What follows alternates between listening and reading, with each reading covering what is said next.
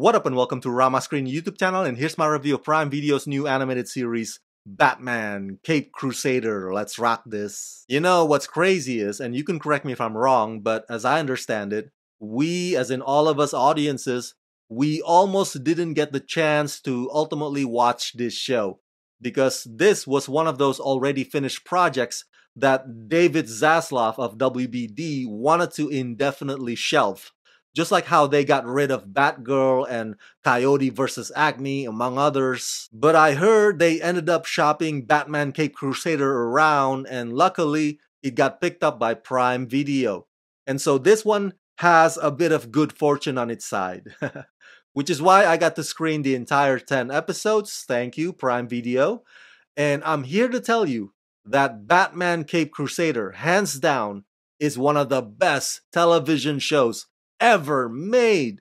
And that is not an understatement. Batman Caped Crusader floors me. It's gritty, atmospheric, and haunting. The psychological dive is phenomenal. The old timey noir animation style is reminiscent of Batman the Animated Series.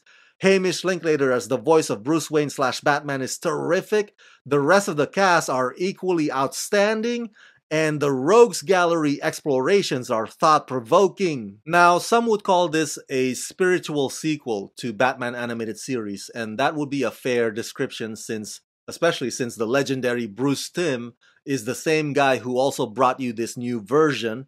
But here's the thing Batman Caped Crusader also brings a lot of things that are fresh and new to the table. And so it's a healthy mix of nostalgia and a subversion of the elements that you've come to love about Gotham's lore. And some would call that race swapping or woke, but I call it bold and refreshing and most importantly, impactful. Welcome to Gotham City, where the corrupt outnumber the good. Criminals run rampant and law abiding citizens live in a constant state of fear. Forged in the fire of tragedy, Wealthy socialite Bruce Wayne becomes something both more and less than human the Batman.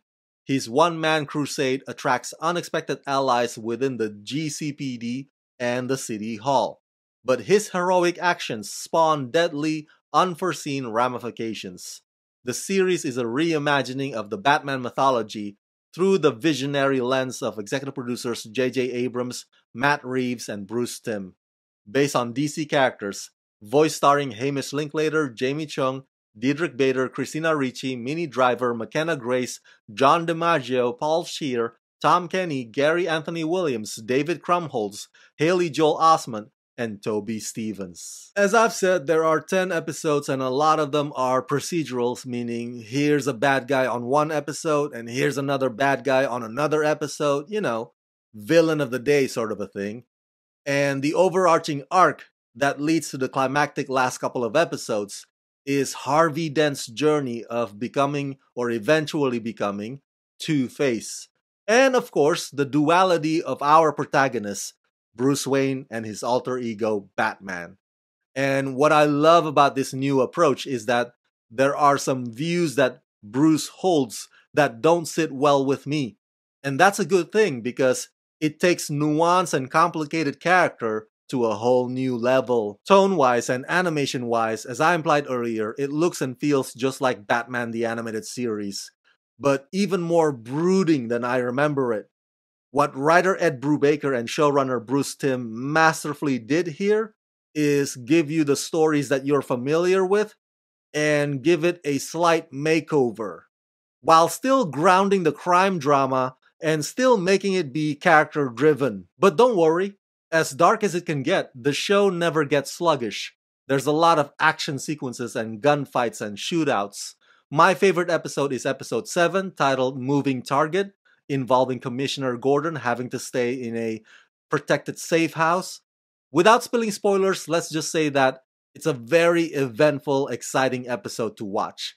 Not all of them are that way, of course, but each episode is so riveting and compelling and so well thought out in the ways in which they peel off the layers. Now, I'm sure you know by now that the penguin on this show is a woman, and Harley Quinn is Asian American.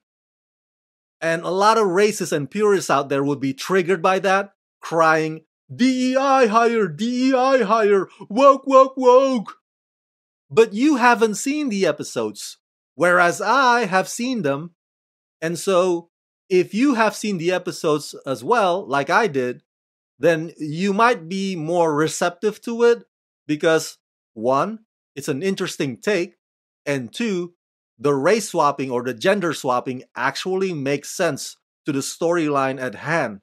And three, it's nice to see something unexpected and new once in a while, right? Jamie Chung voicing Harley Quinn obviously doesn't have that Brooklyn accent, but her version of the character is a lot more determined and a lot more pathological, which makes her even more scary and more intimidating. So the character designs look different, and why they do what they do makes them even more ruthless and vengeful and formidable. Now, you and I agree that the late great Kevin Conroy is the ultimate voice of Bruce Wayne slash Batman. So nobody can top that. To this day, that is still the Mount Everest. And Hamish Linklater is not trying to copy that in any shape or form. He still gives it that duality, you know, differentiating between how Bruce Wayne sounds versus how Batman sounds when they speak. But He's not trying to emulate or imitate Conroy at all. Hamish is just doing his own thing. Maybe not as forcefully raspy as Christian Bale in the live action movies, but what Hamish does here totally works without it being too distracting or over the top. It's just the right level of voice tone for the kind of Bruce Wayne slash Batman that's being presented here. By the way, eight year old Bruce Wayne deciding that all Gotham criminals must pay for the murder of his parents is oddly disturbing. And that is a testament to this show's willingness to see how far they can push some of these iconic characters. Ooh, and lastly, I'm sure you're wondering, and the answer is no. The Joker did not show up in this first season. But there's a cliffhanger teaser at the end for his possible eventual appearance, meaning they're saving that whole story arc for season two, which I hope will happen. I mean, this show is so damn good. It's such a bloody great show. It would be inconceivable if they're not going to continue it beyond this. So yeah, overall I give Batman Caped Crusader the rating of 5 out of 5 visually arresting, well performed, well directed, impeccably put together, and it'll grab hold of you from the start and doesn't let go. This is a monumental animated storytelling achievement.